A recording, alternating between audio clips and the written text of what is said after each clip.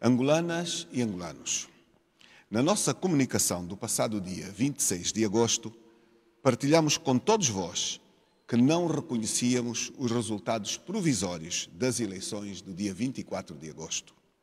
De lá para cá, percebemos a grande expectativa de todos os angolanos.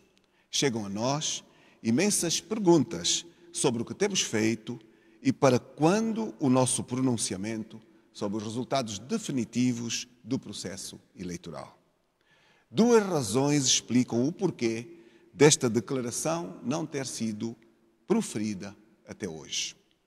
Uma, relacionada com o contencioso eleitoral, cujos prazos em execução neste momento e previstos na lei procuramos respeitar.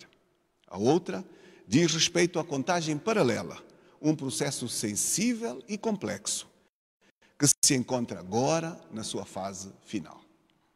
Nos últimos dias, dialogamos com embaixadores de países membros do Conselho de Segurança das Nações Unidas, com outros países com relacionamento relevante com Angola e com responsáveis de instituições idôneas da sociedade civil e outras respeitáveis personalidades.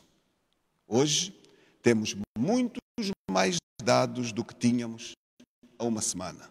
E que no dia 24 de agosto o povo votou na mudança, pelo que a UNITA e seus parceiros da Frente Patriótica Unida não reconhecem os resultados definitivos publicados esta semana pela Comissão Nacional Eleitoral, porque estes não refletem a verdade eleitoral.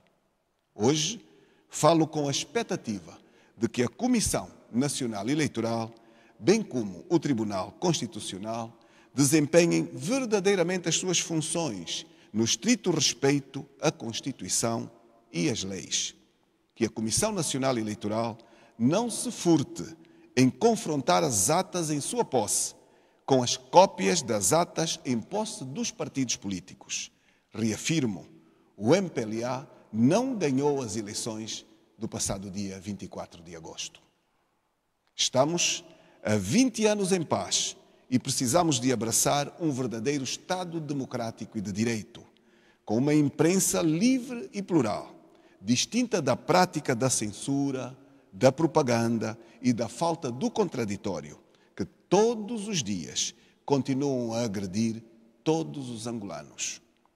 Um Estado onde não se exibam as forças de defesa e segurança, forças republicanas, para amedrontar o seu povo. Termino garantindo que tudo faremos para que todos os votos sejam efetivamente contabilizados e respeitados. A UNITA e o seu presidente não abandonarão aqueles que confiaram o seu voto na alternância. Estamos juntos povo angolano unidos pela mesma causa comum, o respeito escrupuloso pela verdade eleitoral. Por uma Angola de todos. Que Deus abençoe Angola.